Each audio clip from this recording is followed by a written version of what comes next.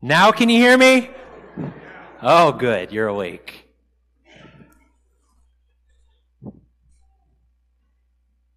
It's been a while since I preached, so I let's pray together. Would you bow your heads with me? Father in heaven, God, we are so thank we're so thankful, Lord, to have your love and your forgiveness, your grace, your patience working with us. Father, uh, instruct us. We have lifted up our hearts and lifted up our prayers, lifted up our worship to you. And now, Lord, we want to continue in the spirit of openness and of dialogue. And we pray that your voice would be heard through the scriptures now. We pray in Jesus' name. Amen. well, I am going to finish the series that I started all the way back in January, if you can believe that. And I, I'd mentioned back then that series are usually something that you don't want big gaps in. Because if you're going to dovetail one thought next to another, you don't want to have those thoughts separated by multiple weeks. So I knew I was taking a gamble, and uh, but I've, I've, I've done my best to try to make this series of messages uh, applicable and, and something that we can uh, journey together with and, and learn from. Called it Faith Matters. Faith Matters is kind of the, the basis of the series. And for the final message, the topic we're going to be looking at is peace. That's, that's a good way to end the series, isn't it? Peace. Uh, just the word itself kind of has an enriching characteristic to it, doesn't it? Just saying the let's just say the word, just say it. Peace. I mean, just the word alone evokes uh, a refreshment, doesn't it? And uh, maybe it's psychosomatic. I, I don't know, but uh, I think it's a worthy thing as we look at why uh, peace matters so much to us in our faith journey and what God wants us to consider when it comes to this attribute of our faith, peace, and what priority and emphasis the Lord places on it. Um, like I said, I haven't preached in a while. I've got a lot built up. Can I share right here at the outset a little bit of a thought that does relate to peace? It does, I promise. Okay, Sarah? Um, but it is, it is somewhat of an, a, an anecdote, if I can put it that way. I, uh, I love uh, being a student of Scripture. I love uh, looking at how God is fulfilling His plan and promises through history and prophecy. Uh, but just recently, and this may not be new to some of you uh, as Bible students, um, when you think about it in the context, you know, the Lord says in the last days, watch out for wars, doesn't He? And to be attentive to the fact that nations are going to be at war with one another and there's going to be these convulsions of, of, of the earth. And and and so uh, as as a uh, as the advent people and as people of prophecy we have been from our very beginning uh, ones who look at world events and trying to see how they align with what god has shown us through the prophecies in the scriptures. But i have a thought for you in the context of peace and in the context of what the Lord may include in looking for in last day events. Um, I, I, know that we have a, a, war going on right now in Eastern Europe, right? Uh, and we've talked about that. We've prayed for the people of Ukraine, and we have had um, a presentation of missions and ministry going to the needs of Ukraine. And we, our, our minds and our, our attentions perk up when we see these things happening in, in flesh and blood and when war comes. However, I want to just share with you while I don't dispute the idea that physical violent wars are a part of the fulfillment of the Lord's warnings of the last days to work, to look out for wars. I am becoming more of a, an advocate of the idea that the greater war that we are to look for between nations and between people is the battlefield of the mind. Okay? Where are wars really won and lost? When a nation loses a war, does that mean that they have given up the argument and they now no longer harbor evil feelings? Where are battlefields really waged? Where did the war in heaven begin? Didn't it begin in the mind of Satan and in the argument of the enemy? Isn't the battlefield of the mind maybe not even of equal, but of greater significance? When you think of the battle of Armageddon in the last days, most of the Protestant Christian world is looking for a physical conf- uh, confrontation in Israel and in that context. Is it possible that that's not the most direct fulfillment of Jesus' words? I, I would have, I would be very interested to know what it would be like to be in the minds of Seventh day Adventists in 1914. When a warrior nation led by a man who calls himself Caesar, right? That's what Kaiser means in German. Okay? Uh, Wilhelm called himself Caesar. And he wanted to rule, although throughout World War I, he called it a defensive war. Did you know that? For the entirety of, of World War I, Germany says, we're fighting a defensive war, which is interesting. But he called himself Caesar, and he allied himself with the Ottoman Turks in Turkey. Can you imagine being a Seventh day Adventist in 1914 going, oh my goodness, this is the war? Someone called Caesar partnering with the Muslim Turks. I mean, come on, think about it. Don't you think Seventh day Adventists in 1914 thought this is it? This is the end. Caesar's back on the rise. But the Lord didn't come, did he? Then in 1939, again, that war, even though there was a treaty, did the war end? No. In 1939, a new uh, leader comes along and he specifically targets the Jews. And I wonder what it would be like to be a Seventh day Adventist in 1939 or, or 1940, looking at the rise of another European power, specifically targeting the descendants of, of the Jews and, and that nation, and be thinking, this is the war, the Lord is coming. But he didn't come. If the Lord didn't come during those wars, is it possible that God wants us to look at war in a different way? There will be physical, I'm, again, I don't debate that there's not going to be armies on the move and there's going to be physical wars, but I think the battlefield of the mind is the greater war that we are facing in the last days. Think about it let me know. And then I'll tell you how wrong you are. No, that's it. Peace. Let's talk about peace. Question number one. Toby's going to have a mic here, and so for any young people that want to raise your hands, we'd love to get you uh, to be able to be heard by everyone here. How does Paul begin all of his letters? Does he say grace to you and peace from God? Does he say be of good cheer? Does he say the Lord bless you and keep you? Or does he say, brethren, lend me your ears? Ketsia? Ketsia is going to give it a, how does every single one from Romans and Ephesians, every single one of his letters, he begins with this. Go ahead. See? See, the Lord bless you and keep you. That's a beautiful, beautiful thing. But that's not right. All right, uh, see some hands in the sound booth. Sebastian? Grace to you and peace from God. You are right, Sebastian. That's how Paul begins every single one of his epistles in the New Testament, from Romans to Philemon. Now, sometimes he will say other things like Paul, an apostle with Timothy, etc., etc. But within that first salutation, in every single one of his letters, he begins this way Grace to you and peace from God our Father and the Lord Jesus Christ. Sometimes he adds the word mercy. Okay? And again, we skip over these sometimes when we're reading the Bible that it's just a quick salutation like when you see someone on the street, hey, how you doing? You know, how's it going? And we just kind of see it as just a, a, a, a, congenial phrase. But I find it interesting that when Paul is going to address the New Testament church, he wants to make sure that he begins with grace and peace.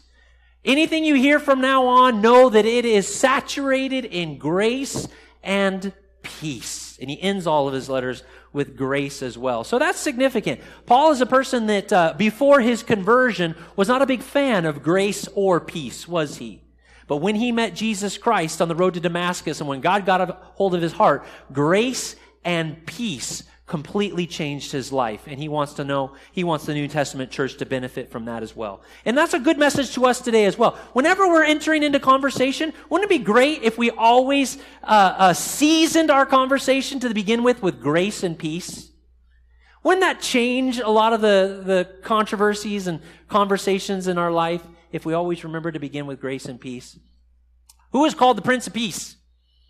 Number two, who is called the Prince of Peace? Solomon, Hezekiah, Jesus, or Melchizedek? Okay, look around. I see Dylan over here. Or, yeah, there's Dylan over here. Jesus. Okay, Jesus. And uh, let's get Eric and then Geo.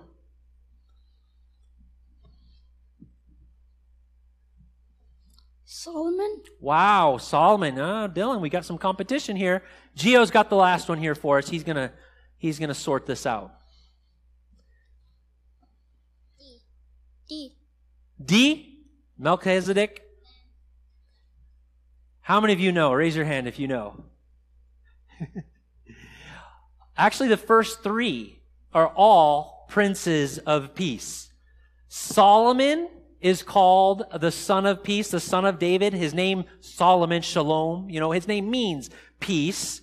And being the son of David, he was to, as David was the warrior king, so then Solomon was to be the prince of peace. Hezekiah is the son of Ahaz, and he was the initial fulfillment of Isaiah's prophecy that unto you a son shall be given, and the government shall be on his shoulders, and his name shall be called Wonderful Counselor, Mighty God, Eternal Father, Prince of Peace. That was, that was Hezekiah. The initial fulfillment of that, fulfilled in the days of Isaiah, was Hezekiah, and he is called the Son of Peace in Isaiah 39. But of course, all of these were uh, uh, symbols of Christ. Jesus is the ultimate fulfillment of the Prince of Peace. It's very interesting. He carries a lot of titles, the Lord does. He's, you know, he's the Lord of, uh, of hosts and he's uh, uh, King of righteousness and all these things. Melchizedek is similar. His name means King of Peace, so I put him up there. Kind of a, a similar thing, but these are the three that you could specifically say were called Prince of Peace. What animal symbolizes peace? A lamb, an eagle, a fish, a dove or a unicorn? Any young people here? You're kind of spread out. You're going to have to. Go ahead. Anyone you see? Eric? A dove. a dove. I can, you're all choked up about it. I can tell. I'm, it's very sensitive to me as well. I appreciate that spirit. All right, Eric. Actually, he got it, guys. I know that you guys probably realize that too. But the dove is the symbol of peace in the Bible. The two prominent stories, of course, of course, are when Noah releases the dove after the judgment, symbolizing the judgment had ended and peace had reigned. And then when the Holy Spirit in the, in the shape of a dove alighted on Jesus, the Prince of Peace, indicating the presence of the Holy Spirit. Last question. What do we call this list? There's a list in the Bible. it has love, joy, peace, patience, kindness, goodness, faithfulness, gentleness, self control. What do we call this list? Ketsia? Or, oh, I'm sorry, let, let Anna. I, I told you to do it, Toby. Now here I'm telling you what to do. What? B. Be the fruit of the Spirit. Anyone else want to guess? That doesn't mean she's wrong. I just want to give others a chance. Dylan's behind you. I appreciate you helping, Toby.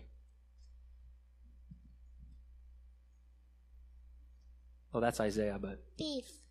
B? Everyone in agreement?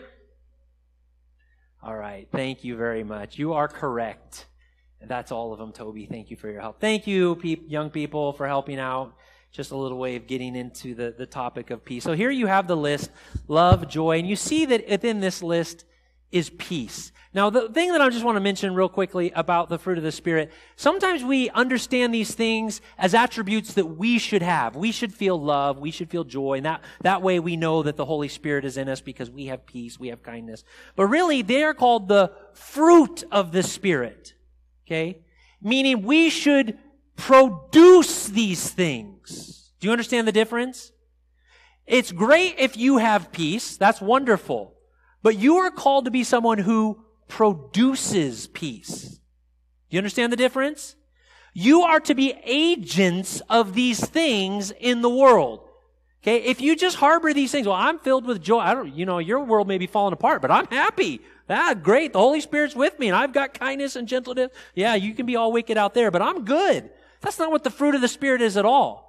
We know that the Holy Spirit is operating in our lives when we affect the world around us and we produce these things in others. You with me? Are you with me? So let me ask you, do you have the Holy Spirit today? Are you producing love in your world? Are you producing joy? Are you a blessing to others? Are you actively working to produce peace? Because I tell you what, that's what the Lord wants to do through you and in your life.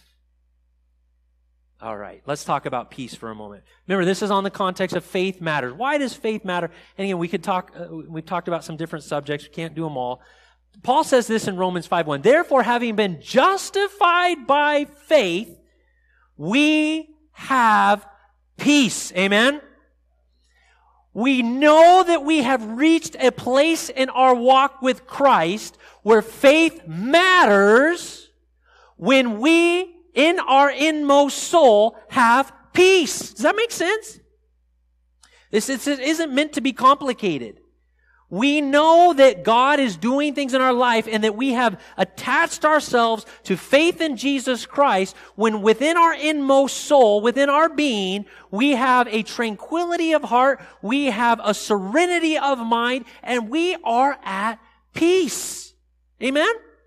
That's not, uh, again, that's not, uh, you know, high uh, scholarship to understand that relationship.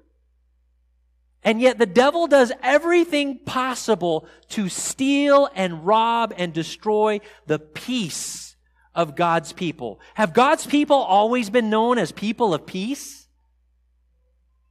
No, we still fall victim and prey to the same things that the rest of the world comes to. But we know, here, here's the thing.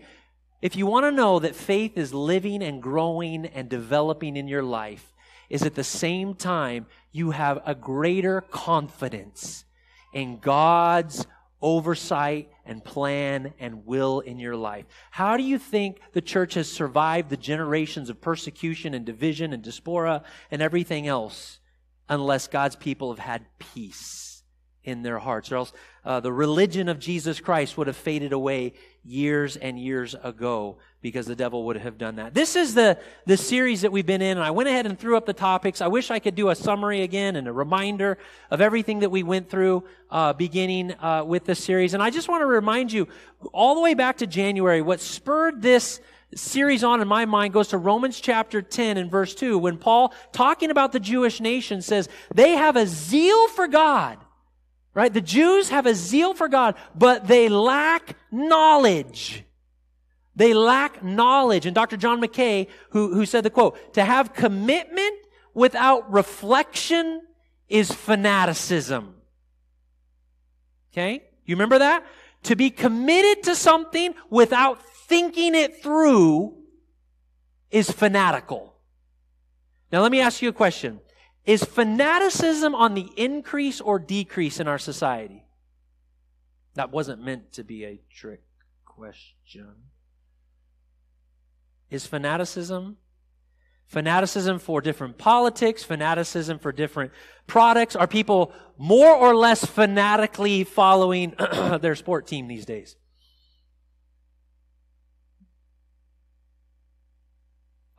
I hope I'm not having to twist your arm on this. I would, I would argue that we are becoming a more of a fanatical people than we've ever become uh, here in America. And a large part of that is we don't think things through. We commit ourselves to something, but we don't think them through. Now, I, I try to avoid super hot potatoes uh, when I'm up here on stage, and I want to be respectful, but I can't help but at least as an analogy, just uh, identify that right now, and friends, we may be needing to be praying through and, and figuring out if this summer the Supreme Court does say Roe v. Wade is a thing of the past and we're going to look at it from a different way, we're going to see things in our society that are going to be quite, quite complex. Okay? Now, whatever side you happen to be on on this debate, I have yet to really have a quality conversation with someone on the topic of abortion where I could tell they've really thought it through. On either side.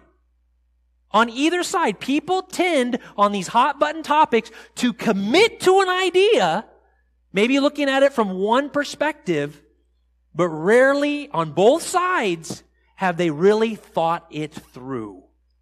And that leads to fanaticism on both sides. Fanaticism.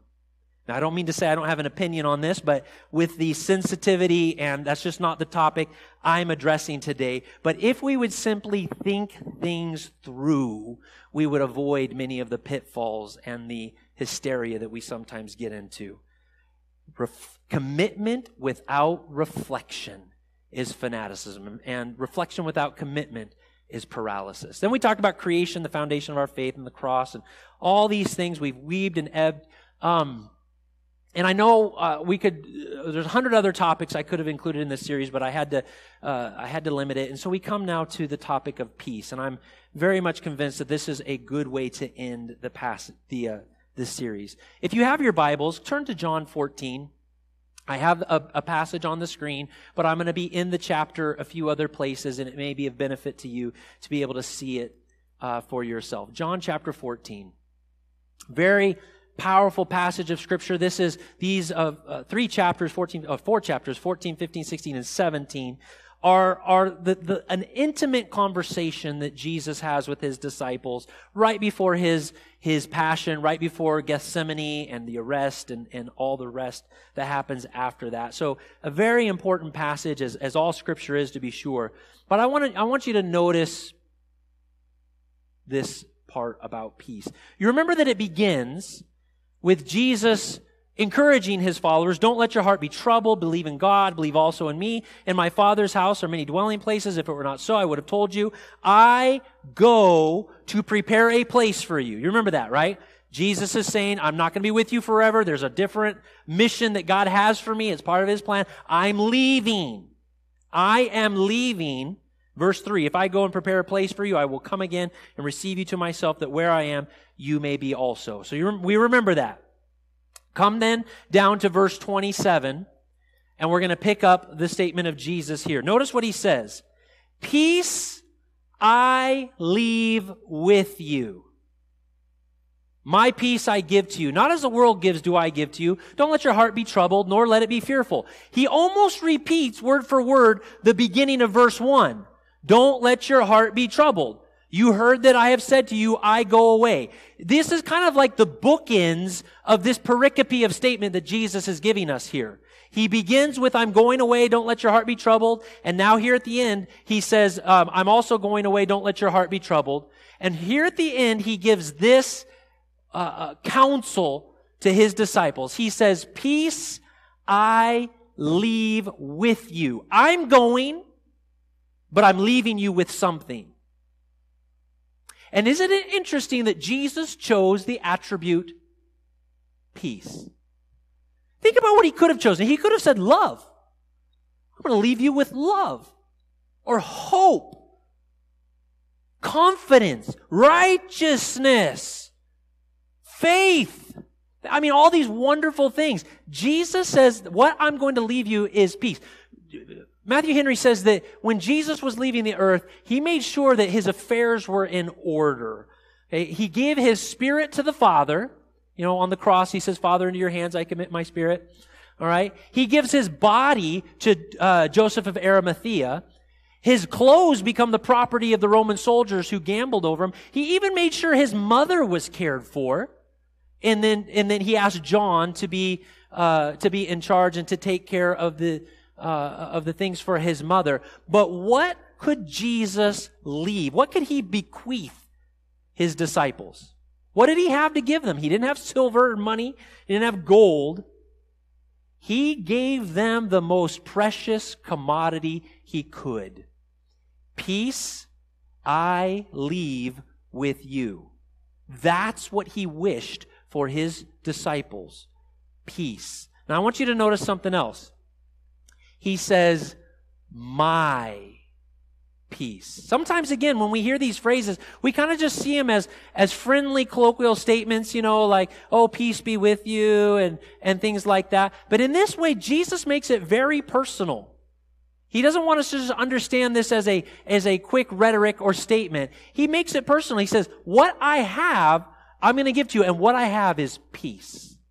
My peace I give to you. Not generic peace, not some general uh, uh, sentiment of peace, but my peace, that which I have to give to you, is my peace, and I'm going to give that to you. And then he makes it clear, not as the world gives it, do I? Everyone, you know, a lot of people think that they have peace.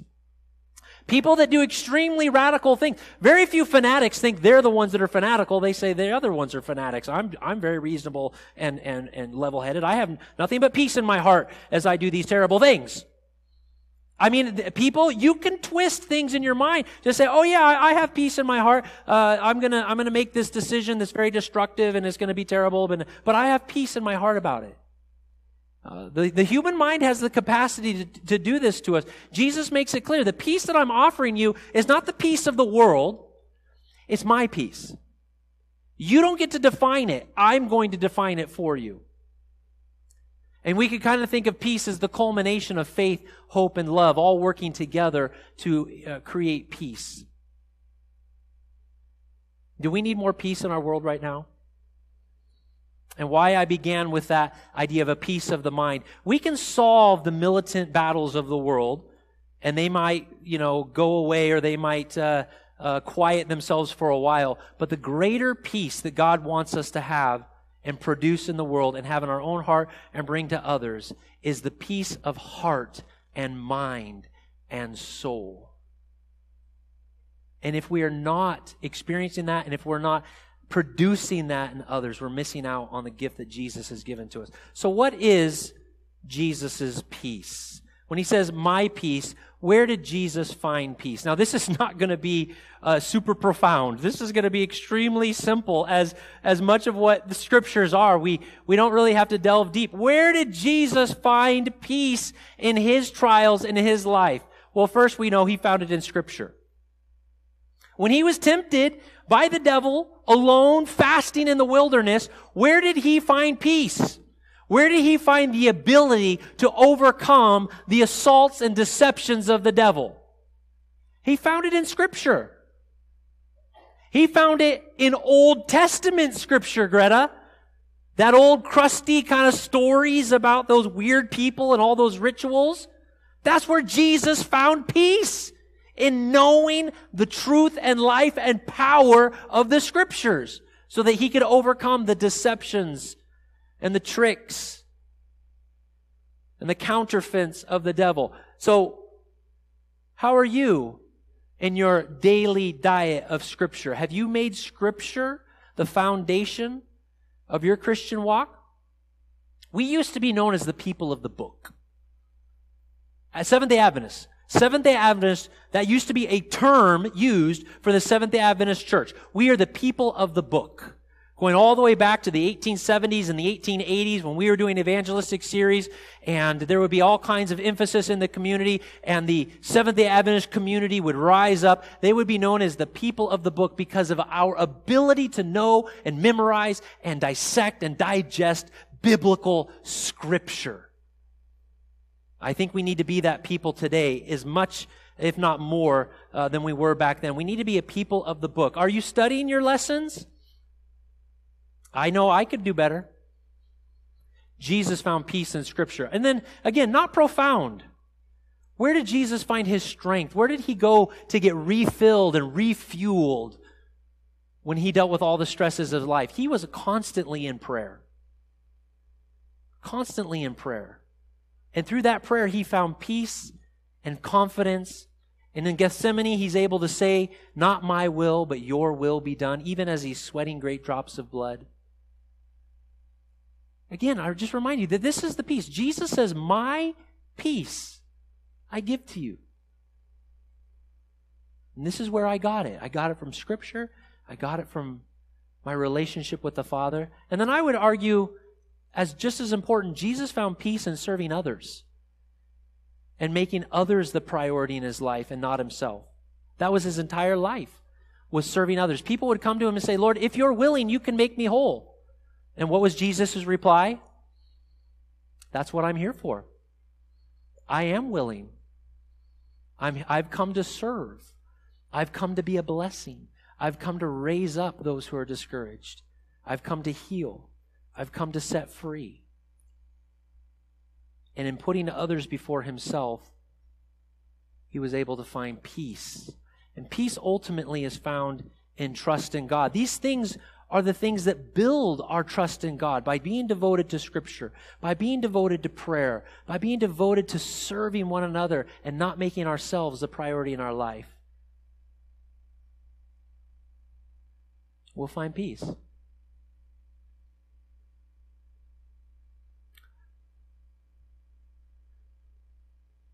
It's easy to get discouraged today. It's easy to be depressed. Any of you that are needing baby formula? I don't know what is going on in the state of Arizona. I've heard it's a problem. Inflation,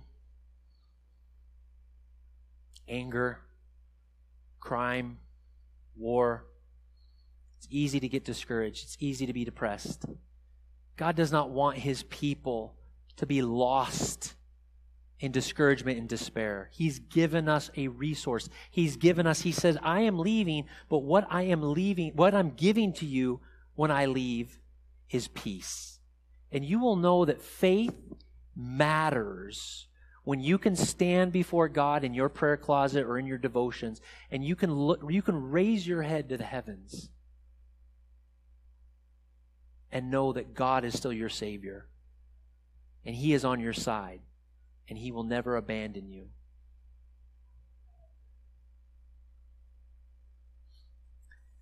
I liked this passage and how I want to end. The work of righteousness will be peace, and the service of righteousness, quietness, and confidence forever. My prayer for you today, for all of us, for our church, for our people, is that we would learn to find the peace that Jesus promised us when he left this earth. And it's not a secret, it's not a complicated formula. It is there right before us for us to grasp and appreciate. It's what he gave us his peace. Would you pray with me? Heavenly Father, thank you, Lord, that we can just spend a few moments reflecting on this very basic idea.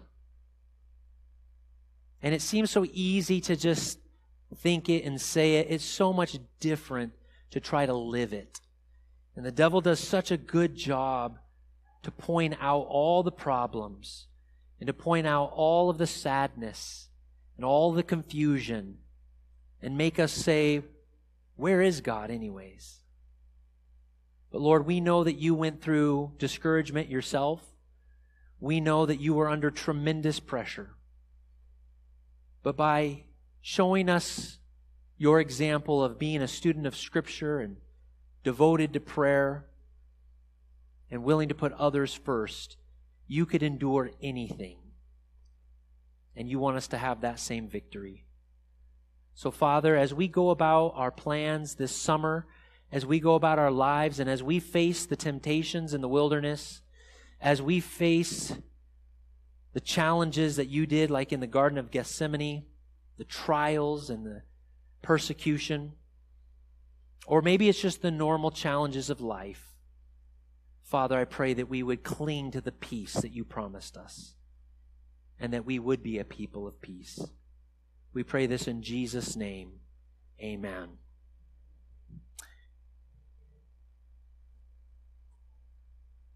Cut me off th- th- three seconds too early. As, as Paul began his letters, grace and peace be with you in God the Father and in Jesus Christ our Lord. God bless.